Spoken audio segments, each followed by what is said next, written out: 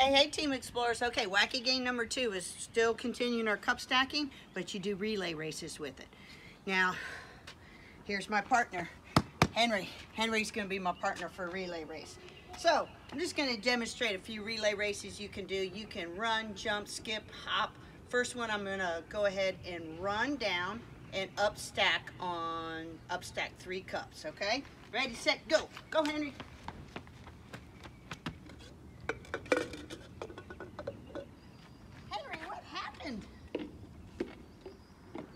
And then I run back.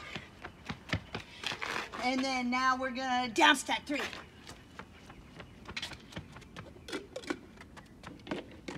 And then I run back.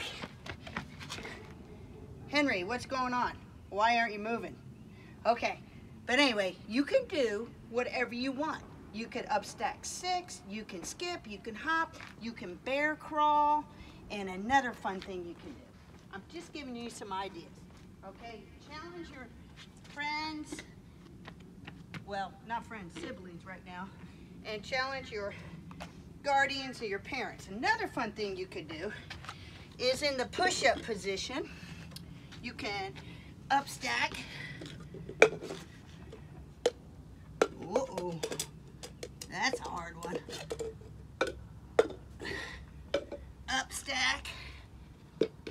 That's good. That's like being in a plank workout. This is hard. And then you could down stack, down stack, down stack, down stack. Man, Henry's not helping me at all. Also, you could, Henry, I'm gonna move you out of the way, let you watch me.